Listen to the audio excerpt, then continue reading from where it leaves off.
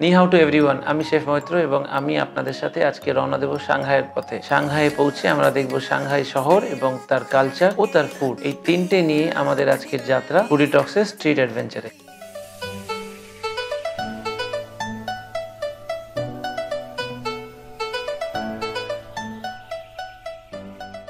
হঠাৎ আমি ডিসাইড করলাম যে সাংহাই ঘুরতে যাব। বুক করে ফেললাম ড্রাগন এয়ারে একটা টিকিট এবং আমরা চলে গেলাম সাংহাই থ্রু হংকং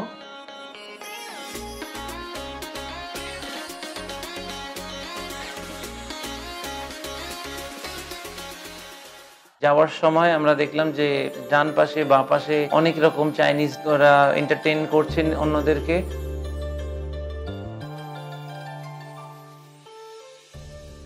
সাংহাই একটা বন্দর সিটি এটাকে চায়নার প্রধান বন্দর হিসেবে ইউজ করতো। Eighty nine point three percent of Shanghai is urban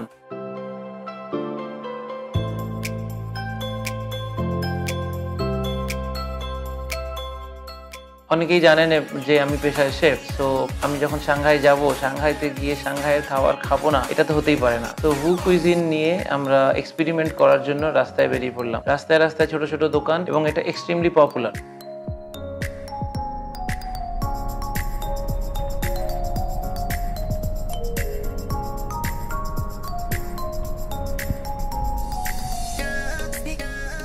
মজার বিষয় হলো যে সাংহাই যাওয়ার সময় আমি একজন পেন ফ্রেন্ড তার সাথে কানেক্ট করেছিলাম, তার নাম হচ্ছে অ্যানিস। অ্যানিসের সাথে আমরা বেরিয়ে পড়লাম জেড বুদ্ধা টেম্পল এটা একটা ওল্ড সিটিতে অবস্থিত। সেই মন্দিরটাতে একটা ক্যাফেটেরিয়া আছে, সেই ক্যাফেটেরিয়াতে অনেক সুন্দর রান্না হয়, যেটা সাংহাইয়ের ডেলিকেসিস সেখানে আমরা খেতে গেলাম।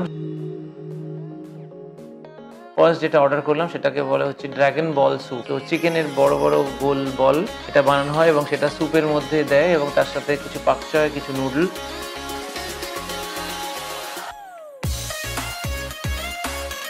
ওখানে গিয়ে দেখতে পেলাম যে অনেক রকমের মাছ, অনেক রকমের মিট এরা শুকায়। ওনারা বিকজ সাংহাইতে প্রচুর শীত হয়। সব ডিম বলুন, মাছ বলুন, মাংস বলুন, এগুলোকে শুকিয়ে নেয়। রোদ্রে শুকায় এবং শুকানোর পরে এগুলোকে ওরা খায়। সেই জিনিসগুলো ওখানে বিক্রি হয়।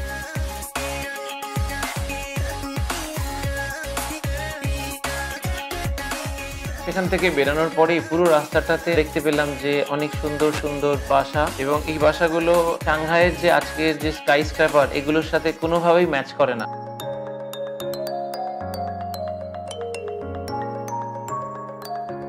এই part of the city old city of Shanghai হেরিটেজটাকে ধরে রেখেছে রওনা দিলাম সাংহাই সিটির পথে। সাথে থাকুন।